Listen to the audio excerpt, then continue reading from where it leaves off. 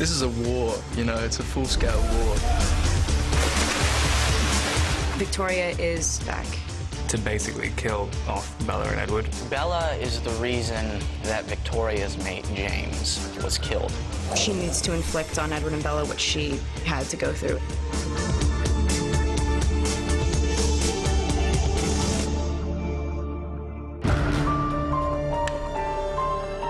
With James, it was a game. You know, it was a hunt. In this film, it's vengeance.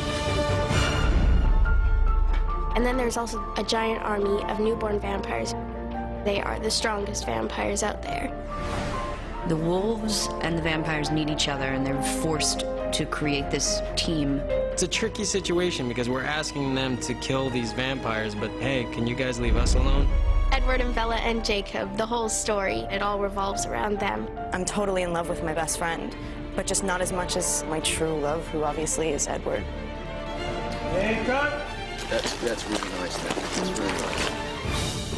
They're going to go a little more intense, a little darker. That's part of the reason why they got David Slade, who is traditionally a very dark director. Were you watching that?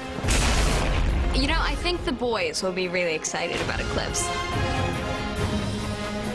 We're doing some intense stuff. It works. It works really well. There's going to be a lot more action, a lot more romance. You know, I have a lot of anticipation. You know, there's just so much energy put into this. I just can't wait.